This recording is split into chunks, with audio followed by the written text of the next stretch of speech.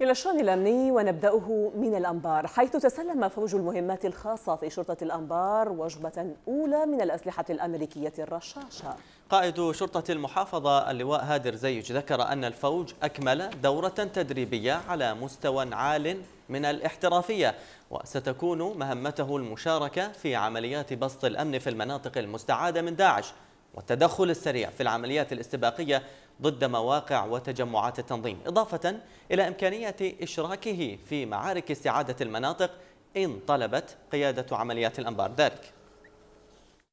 اليوم تم توزيع الوجبة من السلاح آه، سلاح الأم 16 هذا السلاح له تأثير وأهمية خاصة في العمل وفي الميدان والقتال.